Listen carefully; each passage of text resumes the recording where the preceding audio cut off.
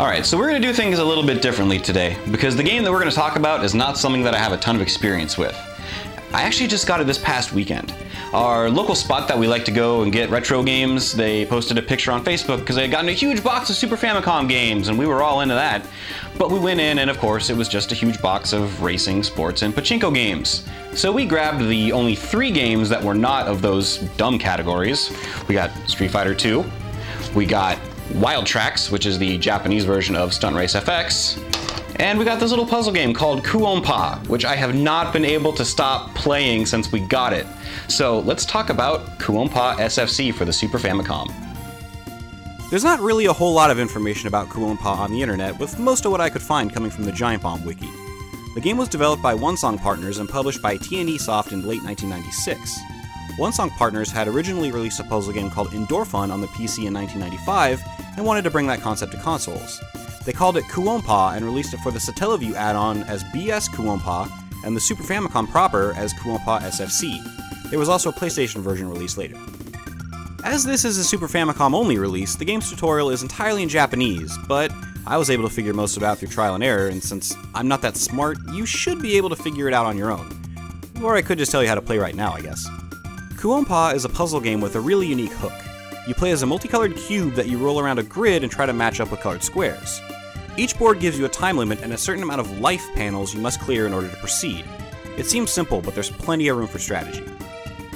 For example, you can't land on a panel if the colors don't match. You physically won't be able to pass it, requiring you to back up, change directions, and rotate a bit until you can work out the proper rotation pattern.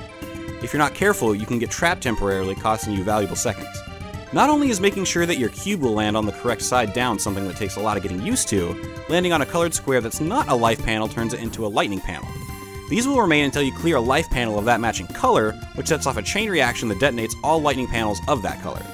Any lightning panels next to an exploding panel will detonate as well, allowing you to rack up huge combos and potentially clear a board in one swift stroke if you're lucky. So you've got a choice to make. Do you go for a high score by getting a fast time, or by getting a huge combo? Don't do enough extra stuff, and a time bonus alone won't get those numbers up. Spend too much time building a combo that doesn't fully pay off, and you won't be able to finish the board in time. One cool thing is that the game has multiple save slots and will show you who has the high score on each individual stage. Apparently, my copy was owned by someone named Samigi. That name doesn't sound Japanese, so who owned it before me? Who is Samigi? This question will haunt me until the end of my days.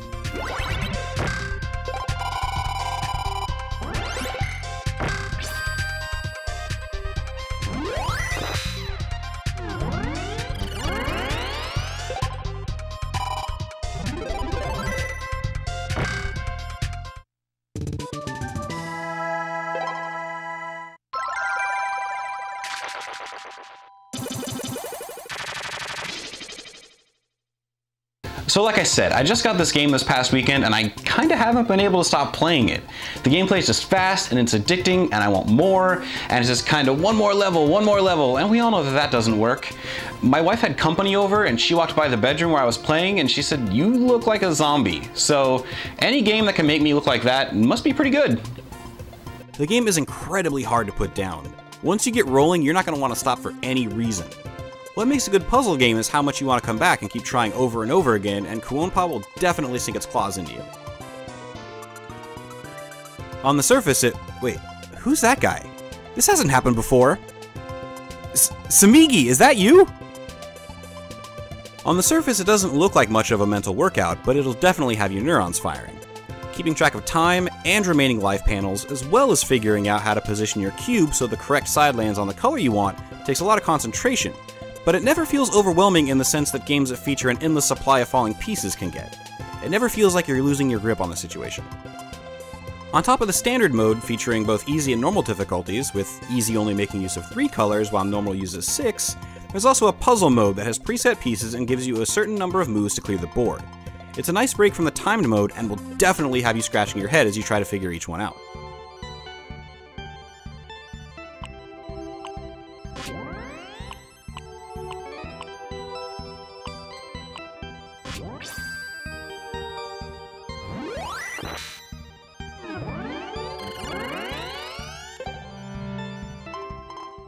It's a puzzle game, so presentation isn't as important as mechanics, but Cu-On-Pa is still a charming little game. I really dig the scrolling parallax backgrounds, and the simple polygonal graphics look great on the Super Nintendo. The music is wonderful as well. In fact, it almost seems too good for a puzzle game. The intense, sweeping tunes almost feel like they belong in an RPG and definitely make fantastic use of the SNES's sound capabilities.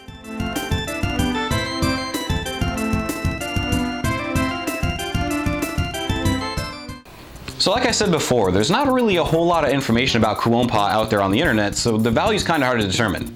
My copy was $3. Online it seems to go for about 10 to 15 in the box and about 7 loose, which I think is definitely worth the value for how much you're going to get out of it. If you're a puzzle game fan, then Cu-On-Pa is definitely something you'll want to track down. If you need some help playing Super Famicom games on your Super Nintendo, make sure to check out my Tough Enough video where I walk you through the very simple process of modifying your system. And again, since it's an import game, and a relatively obscure one at that, I can't fully guarantee how easy it is to secure a copy of your own. Who knows, maybe you can find it in a box of pachinko games like I did.